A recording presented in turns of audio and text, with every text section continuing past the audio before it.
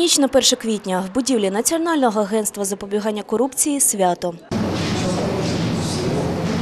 Столи аж ломляться від наїдків. Тут і сири, червона риба, і ковбаси різноманітного гатунку, помідори чері. Немає лише алкоголю. Серед ночі святкують, чи то точніше звітують у НАСК про завершення реєстрації електронних декларацій за минулий рік. Маємо е, останню цифру на сьогодні і е, 813 тисяч 336 декларацій подано за 2017 рік. Це фактично перший вихід Олександра Мангула у світ. Його призначили лише нещодавно. Каже, хоч сайт для реєстрації працював майже без перебоїв, цього року НАСК отримало на 300 тисяч декларацій менше ніж минулого. Також основним ворогом наших декларантів традиційно став час. А ще декларанти забували свої паролі та робили помилки у написанні власного прізвища, ім'я і по батькові. Перші особи держави, щоправда, статки задекларували вчасно. Президент України Петро Порошенко заробив 16 мільйонів гривень. Однак, якщо вірити декларації, майже все зароблене витратив на відпочинок. Зросли доходи у прем'єр-міністра України Володимира Гройсмана. Заробив навіть більше ніж президент 17 мільйонів гривень. Щоправда, майже 9 мільйонів просто переклали з шухляди в шухляду. За стільки прем'єр продав земельну ділянку дружині. А ще 5 мільйонів заробив, здаючи в оренду нерухомість. Щоправда, яку саме не уточнює. Добре виховали свого сина Юрій та Ірина Луценки. Олександр надарував своїм батькам дарунків майже на 300 тисяч гривень. А сам Юрій Луценко тільки зарплати задекларував на більш ніж як мільйон гривень, адже отримає він на посаді генпрокурора більше 100 тисяч гривень у місяць. А от сім'я Авакових збагатилась на 55 мільйонів гривень. Дохід отримала дружина Арсена Борисовича за відчуження цінних паперів та корпоративних прав. Поки одні багатіють, інші бідніють. У Сергія Тарути цьогоріч готівки на 100 тисяч доларів менше. Ну, тут, е, яка була, е, е, та й залишилась. Більше не стало, стало менше. Збіднів і Олександр Вілкул. Готівки багато? Зменшилось. У опозиційного нардепа з 12 об'єктів нерухомості залишилось лише два. На одну зарплату прожив Мустафа Наєм. Отримав майже 500 тисяч гривень за депутатську діяльність. Дати будуть різні, трошки будуть інші суми, тому що зарплати підвищили. Крім високопосадовців, цього року декларації подали ще й громадські активісти. Декларували домашніх улюбленців, футболки і арт-об'єкти з антикорупційними гаслами. Пояснювали, реєстрували найцінніше. В НАСК переконують, підтримують громадськість, тому закликають скасувати декларування для активістів. Проте сподіваюся, що здоровий глузд переможе і вже наступного тижня відповідний законопроект буде результативно проголосований у залі. А от тому, хто без поважних причин не задекларував статки, загрожує два роки ув'язнення або 51 тисяча гривень штрафу.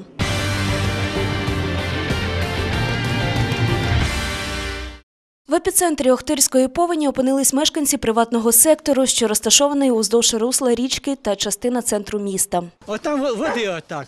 Там взагалі евакуація була, там і собаку вивезли, все вивезли.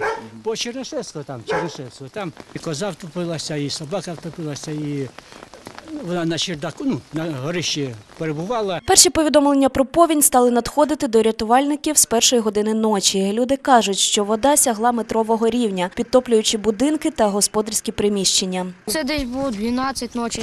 Люди, хати отак було в них по- в домах. Все в них холодильники плавали, все в них там плавало. Собак багато потопилось. За попередньою інформацією, з 25 підтоплених будівель евакуювали майже півсотні людей. З них шестеро тимчасово поселили в місцевому готелі. Трьох госпіталізували до лікарні, інші роз'їхались по рідних та близьких. Також тимчасово зупинили роботу шести електропідстанцій Охтирки. Нам довелося провести земляні роботи, зруйнувати дорогу об'їзну навколо міста, щоб спустити воду. Потім будемо вирішувати, що робити з нею далі. Е, Як зійде вода, е, потім вже будемо проводити відкачку з е, підвалів, будинків і таке інше. Подібна ситуація і в деяких селах поблизу Сум. Потоки води з поля змивають асфальт із проїжджої частини. Люди заблоковані у своїх оселях. Дом под- подтоплен. Подтоплена канализация. Мы отрезаны от воды, от еды. Он трубку не берет, голова сельской рады в сапоги. А у вас продукти там є? Ви ж не, ви- не виходите взагалі? Нет, не выходим, некак выйдет. Вот если вы сейчас будете идти к нам, э, буквально три шага, и вам будет, ну, где-то, наверное, под руки вода. До обіду голова громади ігнорував дзвінки, посилаючись на зайнятість. На нараді губернатора отчет був у нас. Ага, ви звітували перед губернатором. Так точно. А про що ви звітували? Про відпрацьований рік. Люди власними силами намагались відкачати воду з помешкань. Ну я вже 40 років живу, не пам'ятаю такого. Воно стікає з самого поля, е, весь водозбір іде сюди. І крупить. Багато снігу цього року. Його не було тут такої води років 15. При моїй пам'яті це, я ж кажу, 15. Можна зараз це зробити. Перекачаємо воду, розриємо і спустимо у рів- рівчак, у крупець. Поліція на плавзасобах продовжує патрулювати підтоплені райони. Також на місці працюють рятувальники та бригади швидкої допомоги.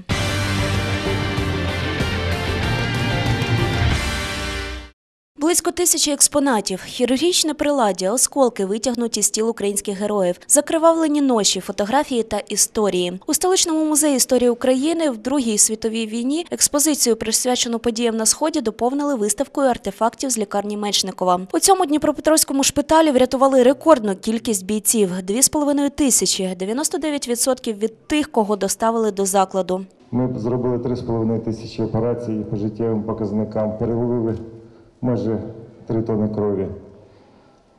Велика робота по спасінню наших героїв. І багатьох з них я бачу сьогодні тут, на цій виставці. Серед врятованих і начальник ліцею імені Івана Богуна, герой України Ігор Гордійчук. Після Савур-могили його фактично збирали по шматочках. Десять днів коми та десятки операцій. Нині воїн ледь стримує емоції. Я не тільки хочу подякувати, а й вклонитись, щоб багато таких, як я, завдяки їхній роботі можуть не тільки жити, а й продовжувати служити своїй рідній країні. І я хочу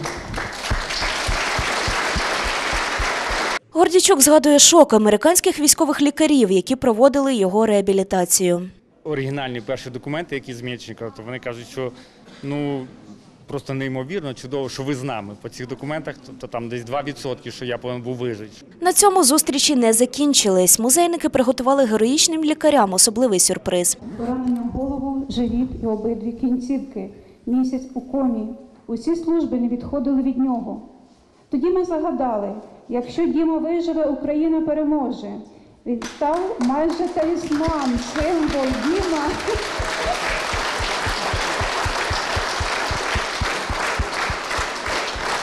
Як і Ігор Гордійчук, Дмитро ледь говорить, побачивши своїх рятівників. Я хочу подякувати лікарям за врятоване життя, що я можу зараз жити, повноцінно жити, радіти кожній секунді, всім. Та я не можу. Вже після презентації у Києві лікарі повернуться до Дніпра. Їхня лікарня одна з найближчих профільних, тому саме до них щодня привозять українських захисників.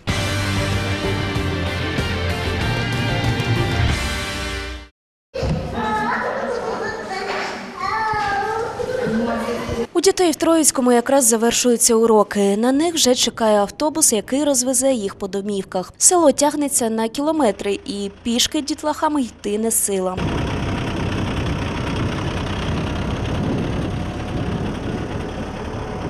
Якщо не вдивлятись, це звичайна доволі велика сільська школа. Ти з перших кроків всередині розумієш, передова поруч. Тому по науку сюди приходити майже нікому. Лиш 34 школяра і 10 дошкільнят. А це всього 10% від потужності школи. Якщо не буде школи, не буде цього села.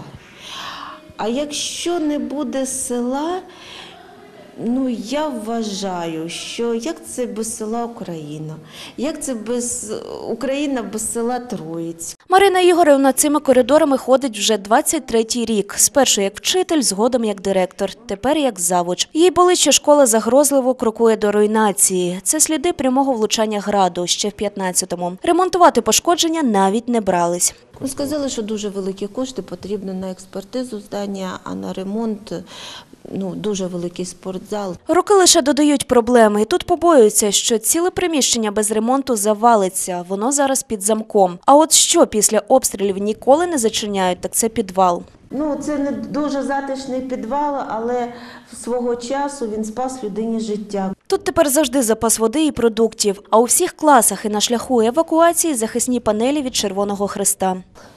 І там іще якийсь сплав знаходиться, який не дає пробивати осколкам ні скло, ні панель цю. Лінія фронту від школи на три боки. Вже за пагорбом йде війна. Буквально місяць тому одна з мін бойовиків впала за сотню метрів від закладу. Та попри це, тут думають про майбутнє. Днями знову відкрили їдальню. Звичне для інших шкіл приміщення не працювало три роки. За допомогою волонтерів, влади і міжнародних організацій потрохи ремонтують приміщення. Мають комп'ютерний клас, але у 21 столітті без інтернету. Бізнесу в село заходити невигідно. Діти сучасні, вони мають гаджети, вони мають планшети, вони мають ноутбуки, а в школі немає інтернету. Тому їм потрібно їхати за 20 кілометрів до опорної школи, щоб е, знайти потрібну інформацію, щоб підготуватися до уроку. А в невеличкий спортзал з дозволу заходять і вояки. І дітям цікаво, вони дивляться, що такі молоді парубки займаються і саме тягнуться. Такий приклад. Приклад, да, приклад. А ще ж мужність така сходить від наших військових. Вони ще цікаво їм дуже розповідають, де військові дії, як було. На школу, попри всі проблеми, її керівниця має великі плани. Було б кого вчити, і аби діти були в безпеці.